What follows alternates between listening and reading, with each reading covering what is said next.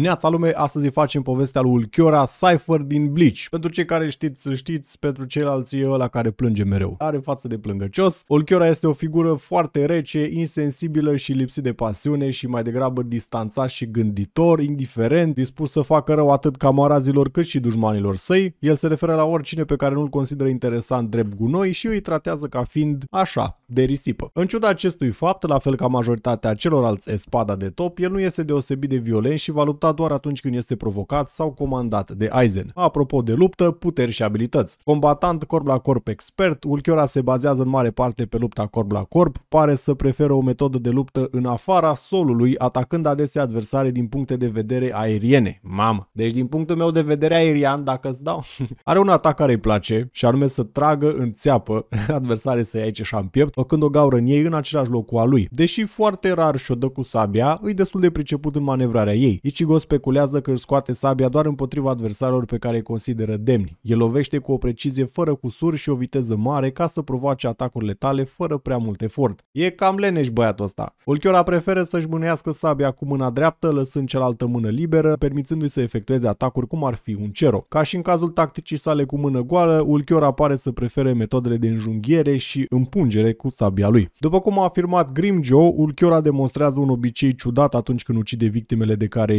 nu este interesat, îi înjunghie cu mâna goală în aceeași locație unde are el gaura lui de holo, nu se știe dacă e conștient sau nu de acest obicei pe care îl are, în timpul unui discurs adresat lui Orihime, el susține că nu crede în emoțiile umane pe care le numește inimă, motivând că dacă ochiul lui nu le poate vedea, ele nu există. Dar nici vântul nu-l poți vedea, deci nu există vânt. Tocmai ați aflat în acest clip. Aceste cuvinte și o mare parte din comportamentul general al lui Ulchiora reflectă conceptele de materialism care se leagă de aspectul său al morții ca și spada, vidul. În ultimele secunde ale vieții pare să-și găsească în sfârșit propria sa inimă și ajunge să înțeleagă sentimentele. O altă schemă pe care are băiatul ăsta, Sonido Master. Majoritatea mi se pare că sunt spaniolă, ca arancare o ardeau pe partea aia. Una dintre trăsăturile cele mai vizibile ale lui Chiora este viteza sa extraordinară și mișcările la fel de eficiente. Reflexele lui i-au permis să reacționeze în zecim de secundă la Getsuga Tensho al lui Ichigo cu masca activată, l-a prins din urmă pe Ichigo după ce l-a aruncat dintr-un turn în câteva momente și a ținut pasul cu viteza bancaia lui Ichigo, iar acestuia a fost greu să-i discerne mișcările la început. Ulchior a reușit chiar să depășească pe Ichigo holificat până când a ajuns pe acoperișul Las Noches. De asemenea a rămas capabil să folosească Sonido chiar și cu absența unei mari bucăți din piciorul stâng. Cero. Asta, asta e o abilitate foarte faină. Sau Zero, care e spaniolă pentru Zero și japoneză pentru Holo Flash, adică Doom Blast. Mamă, frate, ce cu descrierile astea. Ulchiora poate trage un Zero, o să zic Cero, un Cero verde din degetul arătător al oricărei mâini cu putere excesiv de destructivă. Nu vi se pare că Cero ăsta e un fel de Tail Beast Bomb? Ceroul său poate fi încărcat și tras relativ repede, forța exploziei poate trimite un adversar să se năpustească pe o distanță foarte lungă, distrugând efectiv orice obstacol în calea lui până ajunge la măsa în praznic. Ulchiora se comportă de asemenea nemilos și intolerant față de cei pe care i-a pus sub el, în timp ce lovește pe Yami pentru nesăbuința sa, insultă acțiunile prietenilor lui Orihime și este înzestrat cu o mare perspectivă și înțelegerea situațiilor la îndemână, ceva pentru care Aizen, un bărbat cunoscut pentru propriul său intelect, adăpostește respect pentru că l-a trimis pe Ulchiora să investigheze puterea și nivelul de amenințare a lui Ichigo. Cu natura sa calmă, Ulchiora este foarte perceptiv și analitic, deducând ideea de bază abilităților adversarului său pentru a-și da seama de punctele forte și punctele slabe. Bala, sau spaniolă pentru bullet sau japoneză pentru hollow bullet, această tehnică întărește presiunea spirituală a utilizatorului și o trage ca un glonț din pumn. Bala lui Ulchiora este roșie și este suficient de puternică ca să arunce o gaură uriașă în doi shinigami. Iero îmbunătățit. Pielea întărită a arancarului din puterea lui spirituală comprimată. În cazul lui Ulchiora este foarte durabilă, chiar și după standardele de arancar. El poate devia atacurile cu o putere similară cu mâinile goale. În timpul celei de-a doua întâlniri, Ulchiora l-a luat direct pe Getsuga Tensho, când i-a dat atunci Ichigo, deși mânuia sabia în Bankai holoficat, fără răni și l-a învins nenarmat. Bine, de menționat că Ichigo era puțin uzat înainte de lupta asta. Eroul său poate lua o tăietură directă de la Tensa Zangetsu și rămâne doar o tăietură minoră pe piept, în timp ce colegul său espada Yami Largo a pierdut pierdut un braț de la același adversar. Ca și Hollow, Ulchiora se simte singur pe lume, el fiind alb, în timp ce toți ceilalți erau negri, a rătăcit singur prin Huecomundo, plângându-și existența până când într-o zi a dat de un copac alb cu mulți țepe ascuțiți. Ceva timp mai târziu, el a fost recrutat de Aizen în Espada. Pesquisa îmbunătățită e capacitatea unui arancar de a simți energia spirituală. Ulchiora posedă această abilitate foarte bună dintr-o singură privire către adversarul său. Ulchiora poate determina imediat cât de puternic este acesta. Poate înțelege fluxul și concentrarea energiei persoanei, observând instantaneu că energia lui Ichigo fluctua din cauza hollow-ului său interior. Ulchiora este înșelător de puternic pentru construcția sa subțire. El îl poate răni fizic pe Yami, un espada cunoscut în primul rând pentru puterea sa fizică, fără efort vizibil. Poate răsturna porțiuni uriașe de podea de rocă cu o singură lovitură în pământ cu sabia sa și cu o singură lovitură l-a făcut pe Ichigo să zboare pentru o distanță foarte mare. Cea mai mare putere a lui Ulchiora constă în puterea sa de regenerare, fiind capabil să repare orice răni și chiar să restabilească anatomia pierdută, inclusiv membrele întregi, în câteva secunde. Această putere îi permite să folosească în mod liberal Solita Vista, deoarece își poate restabili rapid capacitatea ochilor. Cu toate acestea, regenerarea lui nu e fără limite, necesitând suficient timp și energie spirituală ca să se restabilească. La fel, nu își poate restabili creierul și organele interne. Apropo de Solita Vista, că numai ce am zis-o mai sus, Ulchiora poate relua evenimentele pe care le-au văzut alții prin îndepărtarea și zdrobirea unui ochi care se transformă în praf și curge în jurul celor pe care intenționează să-l folosească. Praful îi transmite vederea și sentimentele. Puterea lui spirituală e imens de mare. În calitate de spada numărul 4, îi e interzis să-și elibereze Zampactou în Las Noces, deoarece o astfel de eliberare ar putea distruge fortăreața. În timpul primei sale vizite în orașul Karakura, și a comparat puterea spirituală cu a lui Ichigo, un Shinigami care are dita mai energia, și afirmă că energia lui Ichigo la apogeu este mai mare decât a lui, dar fluctuează. Reațul său este verde. O altă tehnică, Descorer, cu vreo 3 de R.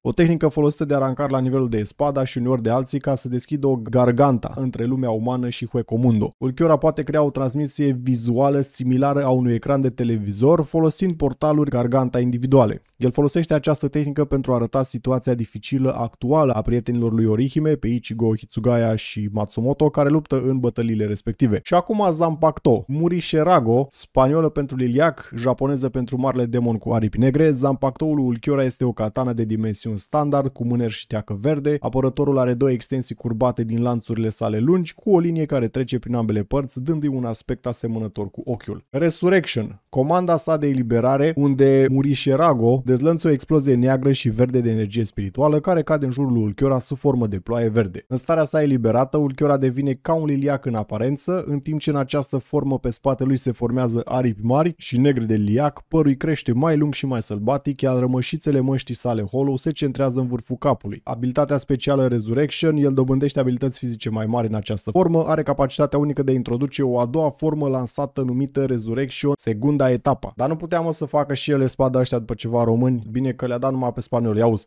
Luz de la luna. Poate genera sulițe de energie verde, ale căror atacuri au o mare putere. Le poate folosi ca arme de la distanță, aruncându-le direct în adversar sau ca armă corp la corp. Și poate fi folosit și în forma sa segunda etapa. Viteza lui este foarte îmbunătățită, deplasându-se la distanțe mari într-o clipă, ca și cum ar fi să se teleporteze, gen când s-a bătut cu Ichigo și l-a împins până la punctul în care bancaiul său cu masca holo nu mai putea să țină pasul. Hero îmbunătățit, hero lui a crescut foarte mult în putere, până la punctul în care un Getsuga Tensho cu masca lui Ichigo activată nu mai avea niciun efect. Deși poseda deja putere spirituală imensă, după ce și-a dat Resurrection ăsta, energia sa spirituală neagră și verde pătrunde în zonă. E suficient de intensă ca să creeze un efect profund asupra celorlalți și pentru a se aduna în ploaie verde care cade în zona înconjurătoare când se eliberează. Cero Oscuras. Un cero negru cu un contur verde e suficient de puternic pentru a arunca masca lui Ichigo și a distruge o mare parte a cupolei Las Noces de mărimea orașului și mai poate fi folosit în forma sa de segunda etapa. Apropo de segunda etapa și Resurrection,